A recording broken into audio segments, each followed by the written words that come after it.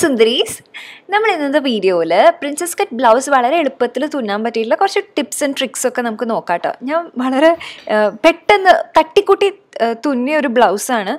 വളരെ കുറവ് തുണിയൊക്കെ ഉണ്ടായിരുന്നുള്ളൂ. അപ്പോൾ അതൊക്കെ വെച്ച് അഡ്ജസ്റ്റ് ചെയ്ത് തുന്നിയ ഒരു ബ്ലൗസാണ്. അപ്പോൾ ഞാൻ എങ്ങനെ തുന്നിയെന്നുള്ളതിന്റെ ടിപ്സ് ആൻഡ് ട്രിക്സ് ഒക്കെ കാണിച്ചു തരാം കേട്ടോ. അപ്പോൾ ആദ്യം തന്നെ പ്രിൻസസ് കട്ട് ബ്ലൗസ് തുന്നണേക്കാട്ടിനും മുന്നേ എപ്പോഴും ബെസ്റ്റ് എന്ന് പറയുന്നത് ഒരു പാറ്റേൺ ഉണ്ടാക്കി വെക്കുക എന്നുള്ളതാണ്. നമ്മുടെ അളവിനനുസരിച്ച് കൃത്യമായിട്ട് നമ്മൾ ഒരു കാർഡ്ബോർഡ് കഷ്ണത്തിലാണ് ചെയ്ത് വെക്കണതെന്ന് വെച്ച് കഴിഞ്ഞാൽ എളുപ്പമായി. കാരണം വർഷങ്ങളോളം അത് നിന്നോളും. അപ്പോൾ ഇതിനു മുന്നേ ഞാൻ പേപ്പറിലൊക്കെ ചെയ്തിരുന്നത്. അപ്പോൾ അത് കുറച്ച് കഴിഞ്ഞാൽ കീറിപ്പോവല്ലോ. കാർഡ്ബോർഡ് ആകുമ്പോൾ വെച്ച് നമുക്ക് വെട്ടാനും എളുപ്പമുണ്ട്. അപ്പോൾ കൃത്യമായിട്ടുള്ള മെഷർമെന്റ്സും കാര്യങ്ങളും ഒക്കെ പറഞ്ഞിട്ട് ഓൾറെഡി നമ്മളൊരു വീഡിയോ ചെയ്തിട്ടുണ്ട്. അപ്പോൾ അതൊന്ന് കണ്ടു നോക്കൂ കേട്ടോ അപ്പോൾ അളവ് എങ്ങനെയാണ് എടുക്കേണ്ടതെന്നുള്ളത് നമുക്ക് മനസ്സിലാവും. അവനവന്റെ അളവ് എങ്ങനെയാണ് എടുക്കേണ്ടതെന്നുള്ളത് മനസ്സിലാവും. ഇതിപ്പോൾ ഞാൻ അളവിലേക്ക് കടക്കണില്ല ഞാൻ എങ്ങനെയാണ് പാറ്റേൺ വരയ്ക്കണതെന്ന് മാത്രം പറയാം. ആദ്യം കഴുത്താണ് കേട്ടോ വരച്ചിരിക്കുന്നത് ഒരു വര വരച്ചിട്ട് കറക്റ്റ് നടുവിൽ നമ്മൾ മെഷർമെന്റ് മാർക്ക് ചെയ്തിട്ട് പിന്നെ അവിടെ നിന്ന് മെഷർമെന്റ്സ് എടുത്തിട്ട് അതായത് കഴുത്തിന്റെ വിത്തും അതേപോലെ നീളവും ഒക്കെ നോക്കിയിട്ട് അങ്ങനെയാണ് നമ്മൾ കഴുത്ത് വരച്ചിരിക്കുന്നത്. അതിനുശേഷം ടോട്ടൽ എത്രയാണോ നീളം വേണ്ടത് അത്രയും താഴേക്ക് നമ്മൾ മെഷർമെന്റ് എടുത്തിട്ട് ബ്ലൗസിന്റെ നീളം ടോട്ടൽ എത്രയാണോ വേണ്ടത് അത് നമ്മൾ താഴെ മാർക്ക് ചെയ്തിട്ടുണ്ട്. അടുത്തത് എന്താ വേണ്ട കൈക്കുഴി. അപ്പോൾ ഏഴ് ഇഞ്ചാണ് ഞാൻ എടുത്തിരിക്കുന്നത്. എൽ ഷേപ്പിൽ വരച്ചിട്ട് നമ്മൾ പിന്നെ കൈക്കുഴി നമ്മൾ വളച്ച് ഇങ്ങനെ വരയ്ക്കില്ലേ? അതുപോലെ വരയ്ക്കുക കേട്ടോ. അപ്പോൾ കൈക്കുഴിയും ആയിട്ടുണ്ട്. ഓക്കെ. ഇനി പ്രിൻസസ് കട്ട് ബ്ലൗസിൽ നമുക്ക് മെയിനായിട്ട് ഒരു കാര്യം അറിയേണ്ടത് എന്താണെന്ന് വെച്ച് കഴിഞ്ഞാൽ നമുക്ക് മെഷർമെന്റ്സ് മാർക്ക് ചെയ്യണം. അത് മൂന്ന് കഷ്ണങ്ങളായിട്ടല്ലേ വരണത്? അതിന്റെ മെഷർമെന്റ്സ് എങ്ങനെയാണ് എടുക്കണ്ടേ എന്നുള്ളതൊക്കെ എഗെയിൻ ഞാൻ ആ വീഡിയോയിൽ പറഞ്ഞിട്ടുണ്ട്. ആ വീഡിയോ ഒന്ന് കണ്ടു നോക്കണം. പ്ലീസ് അതിൽ ഓൾറെഡി എക്സ്പ്ലെയിൻ ചെയ്തിട്ടുള്ള കാരണം കൊണ്ടാണ് ഞാൻ ഇതിൽ അളവുകളൊന്നും എക്സ്പ്ലെയിൻ ചെയ്യാത്തത്. എന്തായാലും ഞാൻ ഇതിപ്പോൾ ഈ പാറ്റേണിന്റെ ഒത്ത നടുക്കി കൂടെ ഒരു ലൈൻ വരയ്ക്കാണ് കറക്റ്റ് നടുവിലായിട്ട് കേട്ടോ ഇനി എന്താ വേണ്ടതെന്ന് വെച്ച് കഴിഞ്ഞാൽ പ്രിൻസസ് കട്ട് ബ്ലൗസിന്റെ ആ മെഷർമെന്റ്സ് ഉണ്ടല്ലോ. അതിന് അതിന് കോമൺ ആയിട്ട് നമ്മൾ ആദ്യം എടുക്കുന്ന മെഷർമെന്റ് എന്താണെന്ന് വെച്ച് കഴിഞ്ഞാൽ കറക്റ്റ് നടുവെന്ന്. ആ നടുവെന്ന് ഇങ്ങോട്ടേക്ക് നീക്കിയിട്ട് ഒരു മൂന്ന് ഇഞ്ച് മാർക്ക് ചെയ്യുക നീളം ആണെങ്കിൽ ഒരു ഒമ്പത് ഇഞ്ചാണ് കേട്ടോ നമ്മൾ മാർക്ക് ചെയ്യുക ഇത് ഒമ്പത് ഇഞ്ച് എന്ന് പറയുന്നത് കുറച്ചൊരു ഏറ്റക്കുറച്ചിലുണ്ടാവും. ഭയങ്കര മെലിഞ്ഞിട്ടുള്ള ആളാണെങ്കിൽ അതേപോലെ കുറച്ച് ഹെൽത്തി ആയിട്ടുള്ള ആളാണെങ്കിൽ ഒന്നും രണ്ടും ഇഞ്ചും അങ്ങോട്ടും ഇങ്ങോട്ടും മാറും എന്നുള്ളതാണ്. പക്ഷേ ഓൾമോസ്റ്റ് സിമിലർ ആയിട്ട് തന്നെയാണ് കേട്ടോ വരിക. ഈ മൂന്നിഞ്ചും ഒമ്പത് ഇഞ്ചും. പിന്നെ കൈക്കുഴിയുടെ അവിടെയും നമ്മൾ ആറ് ഇഞ്ച് മാർക്ക് ചെയ്യുകയാണ് കേട്ടോ. അപ്പോൾ നമുക്ക് ആക്ച്വലി മെഷർമെന്റ്സ് ഒക്കെ കിട്ടി. ഇനി ഇതൊക്കെ കൂടി യോജിപ്പിച്ചാൽ മതി. നമ്മൾ മൂന്ന് ഇഞ്ച് വീതിയിലും ഒമ്പത് ഇഞ്ചിലും ഒരു ഇത് വരച്ചിട്ടുണ്ടായിരുന്നില്ലേ? അവിടെ കറക്റ്റ് നടുവിലായിട്ട് ഇങ്ങനെ ഒന്ന് മെഷർമെന്റ് മാർക്ക് ചെയ്യാം. ഓക്കെ അതായത് മൂന്ന് ഇഞ്ചും ഒമ്പത് ഇഞ്ചും തമ്മിൽ കൂട്ടിമുട്ടുന്ന ആ കുത്തുണ്ടല്ലോ അവിടെ മാർക്ക് ചെയ്യുക. ഓക്കെ താഴെയാണെങ്കിൽ ഒരു നാലര ഇഞ്ച് മാർക്ക് ചെയ്തിട്ടുണ്ട്. പിന്നെ അടുത്തതെന്ന് പറയുന്നത് ഇതെല്ലാം കൂടിയിട്ട് ഒന്ന് യോജിപ്പിക്കുക എന്നുള്ളതാണ്. അതായത് കൈക്കുഴിയുടെ അവിടെ നമ്മൾ മാർക്ക് ചെയ്തിട്ടുണ്ട്. മൂന്ന് ഇഞ്ചും ഒമ്പത് ഇഞ്ചും കൂടി മാർക്ക് ചെയ്തിട്ടുണ്ട്. താഴെ ഒരു നാലര ഇഞ്ച് മാർക്ക് ചെയ്തിട്ടുണ്ട്. ഇല്ലേ? ഇതെല്ലാം കൂടിയിട്ട് നമുക്കൊന്നിങ്ങനെ വളച്ചിങ്ങനെ കൃത്യമായിട്ട് വരച്ച് വരച്ച് വരുമ്പോൾ നമുക്ക് വെട്ടാൻ ഉള്ള മെഷർമെന്റ് കിട്ടി എന്നുള്ളതാണ്. എന്തായാലും ഈ മൂന്നിഞ്ചും പിന്നെ ഒമ്പതിഞ്ചും കൂടി മാർക്ക് ചെയ്തത് മുതൽക്ക് താഴേക്ക് കറക്റ്റ് ഒരു നീളം വര വരച്ചിട്ടുണ്ട് നമ്മൾ അതിന്റെ അപ്പുറം നാലര ഇഞ്ചും മാർക്ക് ചെയ്തിട്ടുണ്ട്. ഇനി നമ്മൾ എന്താ ചെയ്തിരിക്കണമെന്ന് വെച്ചാൽ കൈക്കുഴിയും പിന്നെ മൂന്നിഞ്ചും ഒമ്പതിഞ്ചും കൂടി മാർക്ക് ചെയ്തിരിക്കുന്ന ആ കുത്തുണ്ടല്ലോ അവിടെയും നമ്മൾ മാർക്ക് ചെയ്ത് കൊടുത്തിട്ടുണ്ട് കേട്ടോ. കിട്ടിപ്പോയി. എന്തൊരു എളുപ്പമാണ് നോക്കൂ. നടുവിലത്തെ പാർട്ട് കറക്റ്റായിട്ട് കിട്ടി കഴിഞ്ഞു കേട്ടോ ഇനി അതൊന്ന് ജസ്റ്റ് ആ ലൈൻ ഒന്ന് എക്സ്റ്റെൻഡ് ചെയ്ത് കൊടുത്താൽ മതി കൈക്കുഴിയിലേക്ക് അത്ര തന്നെ വേണ്ടുള്ളൂ. അപ്പോൾ അതേ കിട്ടിക്കഴിഞ്ഞു ഇനി നമുക്ക് കൃത്യമായിട്ട് അതിന്റെ മെഷർമെന്റിൽ തന്നെ വെട്ടിയെടുക്കുക എന്നുള്ളതാണ്.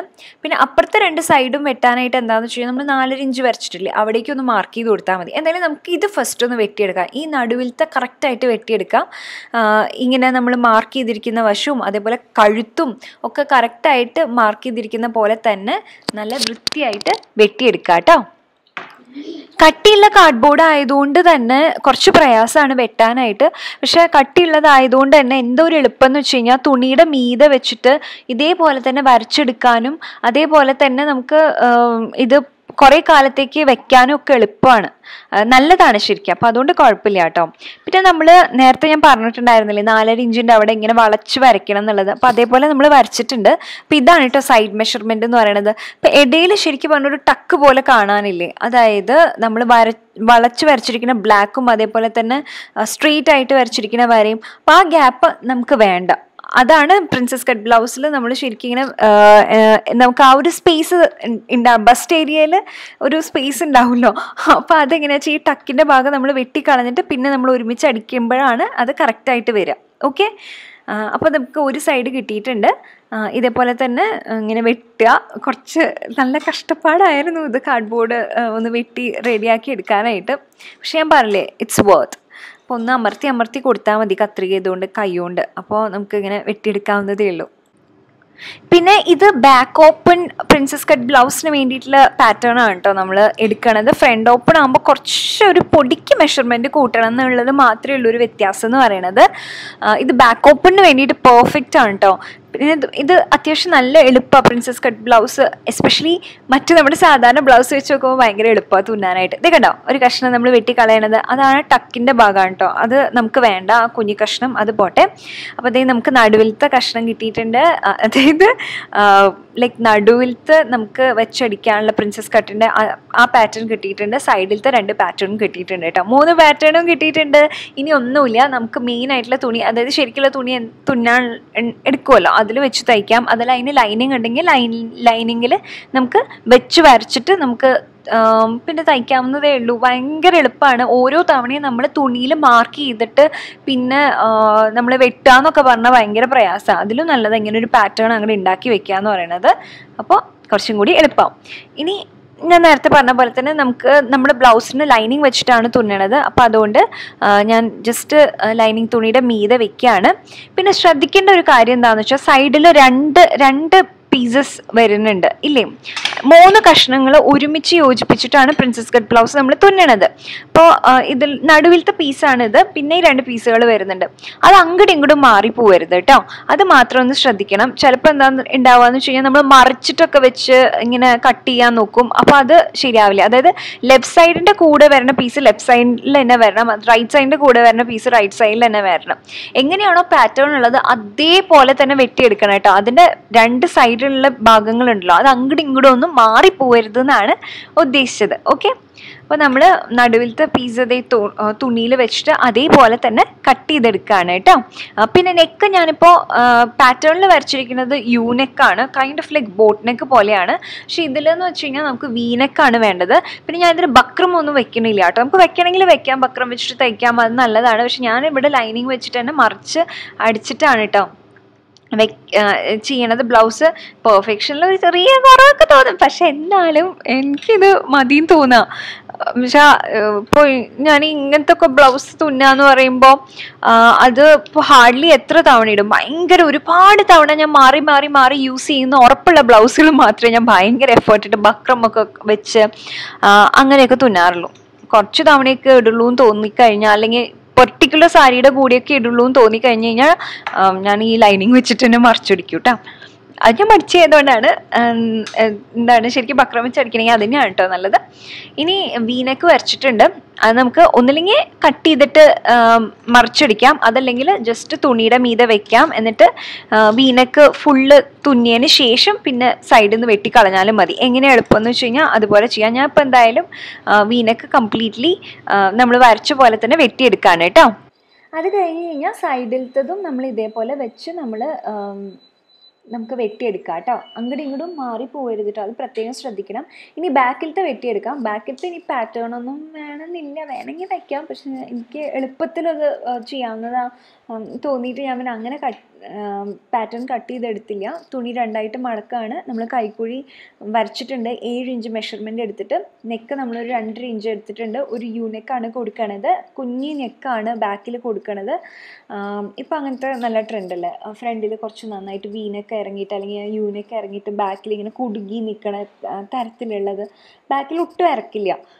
ഞാൻ മൂക്കുത്തി അമ്മൻ സിനിമയിൽ കണ്ടപ്പോൾ നയൻതാരയുടെ കുറേ ബ്ലൗസുകളൊക്കെ അതേപോലെ തന്നെയായിരുന്നു കേട്ടോ അപ്പോൾ ഈ ബാക്കിൽ നമ്മൾ അതേ നമ്മൾ വരച്ചത് വെട്ടിയെടുക്കുക പിന്നെ നമ്മൾ എല്ലാ ലൈനിങ് വെച്ചിട്ടൊക്കെ യോജിപ്പിച്ചിട്ടുണ്ട്. The blouse തുന്ന. ഞാൻ പറഞ്ഞില്ലേ കഴിഞ്ഞ വീഡിയോയിൽ കാണിച്ചിട്ടുള്ള കാരണമാണ് കേട്ടോ ഞാൻ ഡീറ്റെയിൽ ആയിട്ട് ഇതിലേക്ക് കാണിക്കാത്തത്. ജസ്റ്റ് ഇതിൽ മെയിനായിട്ടുള്ള ടിപ്സ് പറഞ്ഞു തരുന്നു എന്ന് മാത്രമേ ഉള്ളൂ. പിന്നെ നമ്മൾ മൂന്ന് പാറ്റേണും കൂടി യോജിപ്പിച്ചിട്ടുണ്ട് നടുക്കിലത്തെ രണ്ട് സൈഡിലത്തെയും. അപ്പോൾ ഫ്രണ്ട് ഭാഗം റെഡിയാണ്. ഇനി ബാക്ക് വശം എന്ന് പറഞ്ഞു കഴിഞ്ഞാൽ നമുക്ക് എന്താ വേണ്ടതെന്ന് വെച്ച് കഴിഞ്ഞാൽ നമുക്ക് പട്ടി പട്ടിയല്ല പട്ട. ഹിന്ദിയിൽ പട്ടി എന്നാണ് കേട്ടോ പറയണം ഞാൻ ഹിന്ദി വീഡിയോ കണ്ടിട്ടാണ് പഠിച്ചിട്ടുണ്ടായിരുന്നത് അപ്പോൾ ഞാൻ അതുകൊണ്ട് ഞാൻ അങ്ങനെ പറയുന്നേ ഉള്ളൂ കേട്ടോ അപ്പോൾ അത് വെച്ചിട്ട് നമുക്ക് മറിച്ചടിക്കണം. സാധാരണ നമ്മൾ എന്താ ചെയ്യുക നല്ല വശം നല്ല വശം കൂടി കൂട്ടി വെച്ചിട്ട് അങ്ങനെ മറിച്ച് വയ്ക്കുക അടിക്കുകയല്ലേ ചെയ്യുക ഇതിപ്പോൾ എന്താ വേണ്ടതെന്ന് വെച്ച് കഴിഞ്ഞാൽ നല്ല വശത്തിലേക്ക് നമുക്ക് തുണി വരണം. അപ്പോൾ അതായത് ചീത്തവശത്തിന്റെ അവിടെ വെച്ച് അടിച്ചിട്ട് നല്ല വശത്തിന്റെ അവിടേക്ക് വരുമ്പോൾ മടക്കി അടിക്കുമ്പോൾ എന്താ ചെയ്യുന്നതെന്നറിയോ? നമ്മൾ ഹുക്ക് ഇടാനായിട്ട് ഒരു ലൂപ്പ് ഉണ്ടാക്കില്ലേ? അതിന് പകരം ഇങ്ങനെ ഒരു ട്രയാങ്കുലർ ഷേപ്പിലൊരു സാധനം ഇങ്ങനെ തുന്നി വെക്കണം. അപ്പം അങ്ങനെയാകുമ്പോൾ നമുക്ക് ഹുക്ക് ഇതിൽ തന്നെ ഇടാം. അപ്പോൾ നമുക്ക് കഷ്ടപ്പെട്ട് കൈകൊണ്ട് ഈ ലൂപ്പ് തുന്നി എടുക്കേണ്ട ആവശ്യമില്ല. അങ്ങനെ ഒരുപാട് സമയം പോകും. ഇങ്ങനെ ചെയ്താൽ മതി കേട്ടോ നല്ല എളുപ്പമാണ് ജസ്റ്റ് സ്റ്റിച്ച് ചെയ്യുമ്പോൾ തന്നെ ഇക്വിഡിസ്റ്റന്റ് ആയിട്ട് നമ്മൾ മാർക്ക് ചെയ്യുക. എന്നിട്ട് ഇത് കണ്ടോ? ഇതേപോലെ ഒരു ഇൻവേർട്ടഡ് വി ഇങ്ങനെ ഒന്ന് തുന്നി കൊടുത്താൽ മതി.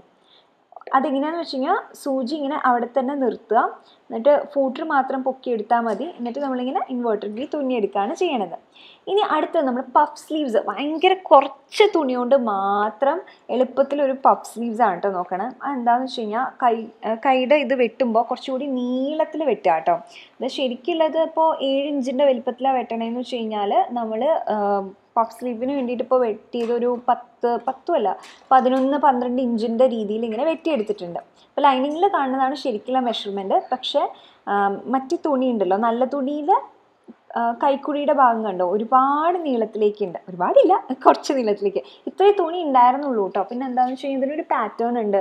പൂവ് ഇങ്ങനെ വരുന്നുണ്ട്. അപ്പോൾ അതുകൊണ്ട് തന്നെ എന്താണെന്ന് വെച്ച് ശ്രദ്ധിക്കണം നമ്മൾ വെട്ടുമ്പോൾ അപ്പോൾ അതുകൊണ്ട് കുറച്ച് തുണി ഉണ്ടായിരുന്നുള്ളൂ.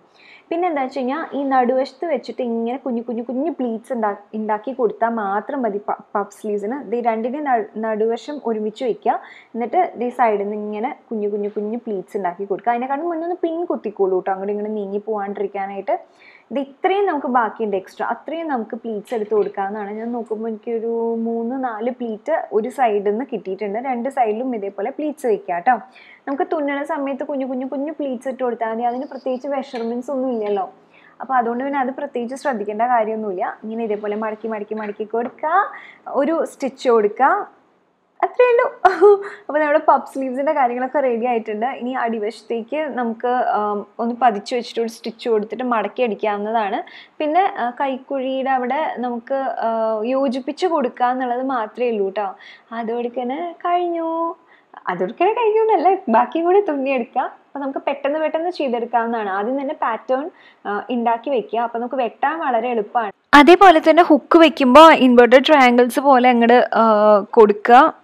പിന്നെ അത് കഴിഞ്ഞിട്ട് നമുക്ക് പഫ് സ്ലീവ്സ് ഒക്കെ വേണമെങ്കിൽ എളുപ്പത്തിൽ പഫ് സ്ലീവ്സ് വേണമെങ്കിൽ ഇതേപോലെ ചെയ്താൽ മതി കേട്ടോ കുറച്ച് പഫ് ഉണ്ടാവുള്ളൂ. പക്ഷേ കുറവ് തുണിയൊക്കെ ഉള്ളൂ. പക്ഷെ സ്റ്റിൽ പഫ് സ്ലീവ്സ് ഒക്കെ വെക്കണമെങ്കിൽ ഇതേപോലെ നമുക്ക് ട്രൈ ചെയ്യാവുന്നതാണ് കേട്ടോ അപ്പോൾ നമ്മൾ കൈയുടെ അവിടെ അറ്റത്ത് മടക്കി അടിക്കുന്നുണ്ട്. ഒന്നില്ലെങ്കിൽ മടക്കി അടിക്കാം. അതല്ലെങ്കിൽ നമുക്ക് പട്ട് പട്ടി വെച്ചിട്ട് അടിക്കാം. പട്ടിയോ പട്ടയോ എന്താ പറയണതെന്ന് വെച്ചാൽ അത് വെച്ച് അടിക്കാവുന്നതാണ്. കഴിഞ്ഞു. നമുക്ക് ബ്ലൗസ് തുന്നുന്നുണ്ടെങ്കിൽ ഇങ്ങനെ ബ്ലൗസ് പ്രിൻസസ് കട്ടൊക്കെ തുന്നുന്നുണ്ടെങ്കിൽ എളുപ്പത്തിൽ തുന്നണമെങ്കിൽ ഇത് ചെയ്തെടുക്കാവുന്നതാണ് കേട്ടോ. എനിക്കിപ്പോൾ വളരെ എളുപ്പത്തിൽ എനിക്ക് തുന്നിയെടുക്കാൻ പറ്റി. എനിക്ക് ഇഷ്ടപ്പെട്ടു. കുഴപ്പമൊന്നുമില്ലായിരുന്നു. നന്നായിട്ട് വന്നിട്ടുണ്ട്. അപ്പോൾ എല്ലാവരും ഇത് ട്രൈ ചെയ്ത് നോക്കിയിട്ട് എങ്ങനെയുണ്ടായിരുന്നു എന്നുള്ളത് എന്തായാലും പറയണം കേട്ടോ. അപ്പോൾ നമുക്കിനി നാളെ കാണാം. അതുവരെ Bye bye. Take care. Love you all. Bye bye.